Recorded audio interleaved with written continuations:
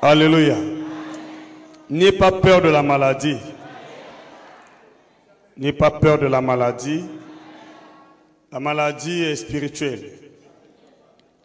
Le premier secret pour vaincre les maladies, ce n'est pas d'abord l'hygiène. C'est l'hygiène spirituelle. Si vous n'êtes pas spirituel, vous pouvez tout faire, vous n'échapperez pas. Vous pensez que toutes ces personnes-là qui sont atteintes de la maladie n'ont pas réuni les conditions d'hygiène. Vous êtes euh, peuple de Dieu, enfant de Dieu, fils de Dieu. Alors, nous ne devons pas voir les choses comme le monde. Il faut voir les choses dans l'optique de Dieu. Nous pouvons tout faire, mais on ne peut pas prendre les précautions contre Satan en restant oisif à la maison pour ne rien faire. Il y a des gens qui pensent que le diable aura peur des mains que tu as lavées. Alors, nous allons prendre les précautions, bien sûr, mais ce qui est spirituel est spirituel. Ce qui est naturel est naturel. Nous prenons les précautions pour garder ce corps, pas notre âme ni notre esprit. Parce que les maladies sont spirituelles. Mais je déclare dans le nom de Jésus, la maladie n'est pas ton héritage. L'épidémie n'est pas ton héritage. Dans le nom puissant de Jésus, j'engage le nom de Jésus. J'engage la parole de Jésus. J'engage l'esprit de Jésus. J'engage le sang de Jésus. Autorité du corps de Christ contre toute maladie, contre le coronavirus.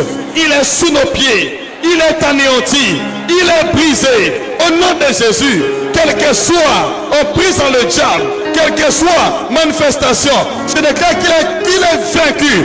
Il est vaincu. Il est sous nos pieds. Au nom de Jésus-Christ. Ne craignez pas ce que le monde crée. N'ayez pas peur de ce que le monde a peur.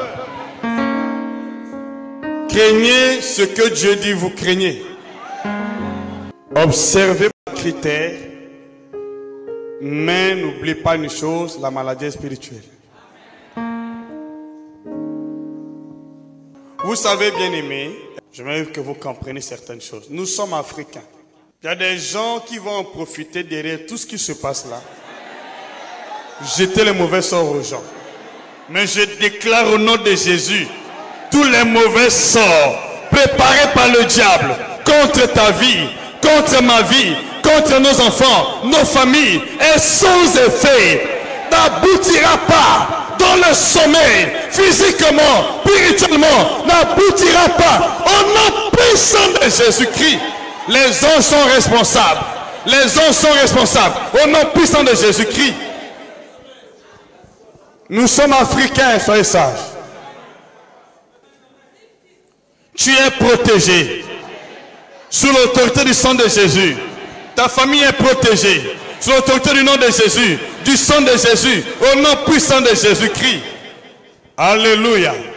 Tout ce que nous vous prêchons ces jours-ci euh, suscite la colère dans le camp de l'ennemi, Satan. Ce sont des choses très, très, très significatives et très poignant qui sont poignarder le diable dans le dos. Amen. Je vous dis une chose. Soyez dans la prière, s'il vous plaît. Nous sommes arrivés au temps où il faut écarter distraction. Imprégnez-vous de la parole de Dieu. Mon seul souci, c'est vous. Parce que vous n'êtes pas parfois mesure de voir les choses dans la dimension de Dieu. C'est que pendant ce temps, Satan va chercher à combattre certaines personnes qui ne sont pas aussi tenaces dans la foi. Mais n'ayez pas peur, s'il te plaît. Évite la distraction. Et je vous l'ai dit devant Dieu, nous sommes à la fin du quatrième saut. Je fais juste un petit rappel. Le quatrième saut est le résumé des trois premiers sauts. Vous connaissez ce que j'avais dit par la grâce de Dieu. on avait prophétisé sur ces épidémies, pour ceux qui ont une bonne mémoire. Amen. Donc voilà, euh, le quatrième saut est arrivé à son terme. C'est-à-dire, un quart de la terre sont accomplis à travers cette épidémie, coronavirus. Et je vous l'ai dit, après ce temps que vous voyez là, c'est le cinquième saut qui va prendre le relais. Et dans le cinquième saut, nous parlons de, du cri de vengeance des saints, des témoins de Jésus. Dans le cinquième saut, vous allez voir que l'Église catholique va revenir avec euh, la politique de l'Église universelle. On va chercher à universaliser l'Église. C'est-à-dire, l'Église doit avoir un seul dirigeant. Donc, c'est là on va parler de communisme. C'est le nouveau ordre mondial. Et le pape l'avait déjà annoncé. J'espère que c'est prévu que le, 14 mai 2020, on va promulguer le, nouveau ordre mondial. Nous allons rentrer dans une autre phase, c'est le cinquième saut, le cri de vengeance des martyrs. Et si vous n'avez pas l'amour pour Dieu, je vous le dis certainement, il y aura dans le monde des groupuscules, des soi-disant croyants, qui vont lutter contre la véritable Église.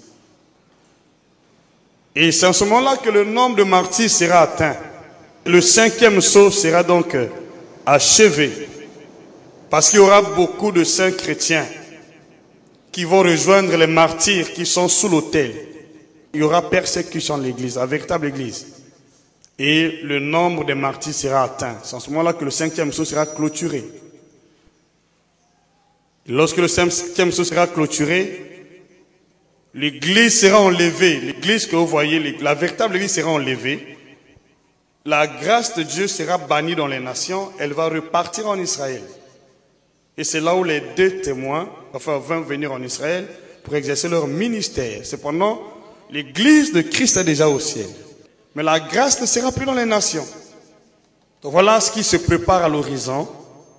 Et lorsque les deux témoins vont finir euh, leur mission sur terre, trois ans et demi après, ils seront tués, exposés à la place publique, et le troisième jour, ils vont se ressusciter, ils vont monter au ciel.